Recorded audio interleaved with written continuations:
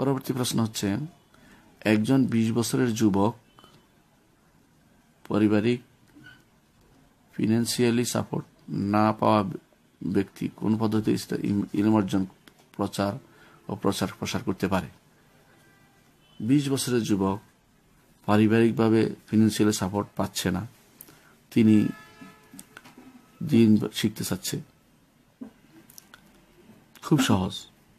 সহজ কি? যদি তিনি শিক্ষিত হয়ে থাকেন, কোথাও লজিং থাকবেন, কোথাও কোনো মেসে উঠবেন, যেখানে শুধুমাত্র খরচ দিয়ে উঠতে হয়, এমন জায়গাও আছে যেখানে কোনো বোর্ডিংয়ে যেখানে পড়া সেখানে থাকতে পারে, সেখান থেকে পড়া যায় কোনো কোনো প্রতিষ্ঠানে, তাহলে সেখানে উঠবেন। আর যদি এটা যদি অবস্থা না হয়, এটা যদি তার সমস্যা, এটা যদি এটা যদি সম্ভব না হয়, কোথাও এরকম না পাওয়া যায় তাহলে তাহলে তাহলে তিনি দিনের বেলা গতর খাটবেন, রাতের বেলায় তিনি লেখাপড়া করবেন। যদি নিজের ইজ্জত নফসে বাধা দেয়, নফসের ইজ্জত বেশি যে আমি কেন কাজ করব? তাহলে তিনি হচ্ছেন বেকার। বেকার। আমরা ইতিহাসে জানি অনেক আলেম যারা কাজ করতেন, আবার পড়ালেখা করতেন। কাজ করতেন, যতটুকু টাকা হয় ততটুকু দিয়ে পড়ালেখা করতেন। মাসের খরা খোরাকি হয়ে গেল। তিনি নিজেকে সম্পূর্ণরূপে নিবেদিত প্রাণ দিনের জন্য হন। তাহলে সেটা আপনি করতে পারবেন। নিতে কাজ করে আপনি পড়ালেখা করতে পারেন। আর যদি একেবারে পড়ালেখা করার মতো অবস্থা, কাজ করার মতো অবস্থা না থাকে, পড়ালেখা করতেই চান আপনার তখন আপনার কোনো কিছু পানও না বা কাজও পান না, এরকম অবস্থা হয়।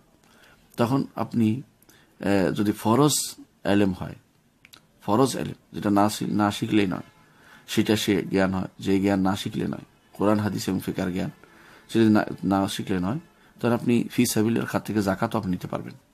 ফি সাবিলের খাত যেটা আল্লাহ তালা বলছেন, সেটা জাকাতও নিতে পারবেন। কিন্তু এর বাইরে অন্য কিছুর জন্য নিতে পারবেন না। অথবা ফরজ না, আপনি শিখে গেছেন অনেক কিছু, এখন নফল পড়তেছেন এগুলোর মধ্যে। তাহলে সেটার জন্য আপনি জাকাত নিতে পারবেন না। তাহলে আপনি কি নিতে পারবেন? সহযোগিতা নিতে পারবেন কারও থেকে। কেউ চাইলে আপনাকে বলে দেখবেন সহযোগিতা চাইলে করতে পার সাধারণ দান আপনি নিতে পারবেন। এই সবগুলি অপশান আপনার সামনে আছে। তারপরও দিনই আলেম থেকে দূরে থাকার সুযোগ নাই। ফরজ আলেম অবশ্যই আপনাকে জানতে হবে। আর নফল আলমের জন্য আপনি চেষ্টা করবেন যেন আপনি কোনোদিন মানুষের কাছে হাত না পাতেন, নিজে কষ্ট করে। জ্ঞান অর্জন করার জন্য নিজে কষ্ট করবেন।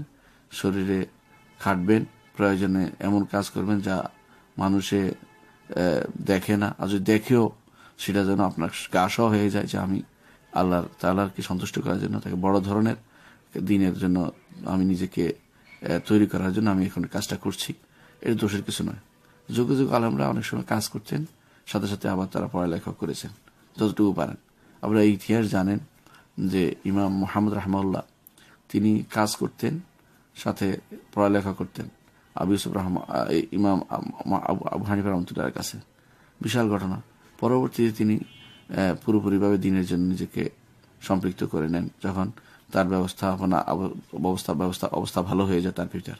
তো আপনি বুঝতে পারছেন যে এগুলো যতটুকু পারেন নিজেরা, নিজে বুঝে নেবেন যে কোন কাজটা তার জন্য সুইটেবল দেখে একটা কাজ ধরে পড়ালেখা করতে শুরু করেন। কাজটা যেন এমন টাইমে হয় আপনার পড়ালেখার জন্য বাধা না হয়। আরেকটি জিনিস হচ্ছে, বর্তমানে আলহামদুলিল্লাহ অনলাইন অনেকগুলো ইউনিভার্সিটি হয়েছে, শিক্ষায়তন হয়েছে, আলেমরা পড়াচ্ছে। আপনার জন্য অন্য কোনো কাজ করে অনলাইনে পড়ালেখা করাটা সহজ। অনলাইন কাজগুলো এমন হয় যে আপনি সবসময় বসে থাকতে হয় না, যখন সুযোগ মতো তখনই পড়তে পারেন। দিন শিক্ষার এলম অর্জনের যে পদ্ধতি, এই পদ্ধতি আরও আরও সুন্দর। এমনও হয়েছে যে বিভিন্ন দেশে বিভিন্ন ইউনিভার্সিটিতে আছে এখন, বিভিন্ন অনলাইন কোর্স দিয়ে অনলাইন কোর্স অফার করতেছে। আপনার সার্টিফিকেটের দরকারটা আমাদের এলএম যদি অর্জনের উদ্দেশ্য হয় বিখ্যাত আলেমদের বিভিন্ন দার্সে আপনি অংশগ্রহণ করেন, কোর্স করেন ছোট ছোট। আকিদের উপর একটা কোর্স তাহিদ এই ম্যানের উপর একটা কোর্স তারপরে ফেকার উপর একটা কোর্স, হাদিসের উপর একটা কোর্স ওসুল হাদিসের উপর একটা কোর্স। কোর্স করতে করতে আপনি যে আলেম হয়ে যাবেন, এটা কোনো সন্দেহ নেই। এতগুলো সুযোগ থাকার পরে আপনার, আমার হতাশ হওয়ার কোনো সুযোগ নেই। অর্থনৈতিকভাবে পরিবারের উপর চাপ দেওয়ার সুযোগ নেই। নিজে যেহেতু বিশ বছর হয়ে গেছেন, পরিবারের উপর চাপ দেওয়ার কোনো সুযোগ নেই। একজন মানুষ বালেগ হওয়ার পরে পিতামাতার উপর, তার উপর থেকে পিতামাতার কর্তব্য চলে যায়। তার কোনো দায়িত্ব থাকে না। পিতামাতাকে লালন পালন করা, টাকা দেয়া, সহযোগিতা করা, কোনো বাধ্যবাধকতা নেই। দয়া যদি করে, দিতে পারে। দয়া করলে বাবা দেয়, মা দেয়, দিতে পারে। জোর করে নেয়া, এটা একটা অত্যন্ত রকমের গর্হিত কাজ এবং এটা গুনার কাজ। তারা যদি না দিতে চায়, জোর করা, এটা গুনার কাজ। বরং নিজের পায়ে নিয়ে দাঁড়ানোর চেষ্টা করুন এবং দিন শিখার যে সমস্ত মাধ্যম শরীরের মধ্যে সেগুলো খুঁজে, সেগুলি থেকে আপনি ভালোটা গ্রহণ করুন।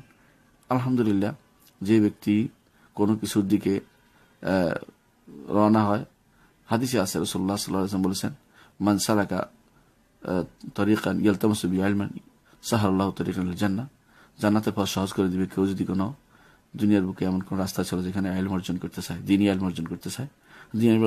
দিনই অর্জন করলে আপনার জন্য আল্লাহ তালা সহজ করে দিবেন সবকিছু। ফেরেশ তারা আপনার জন্য দোয়া করবে।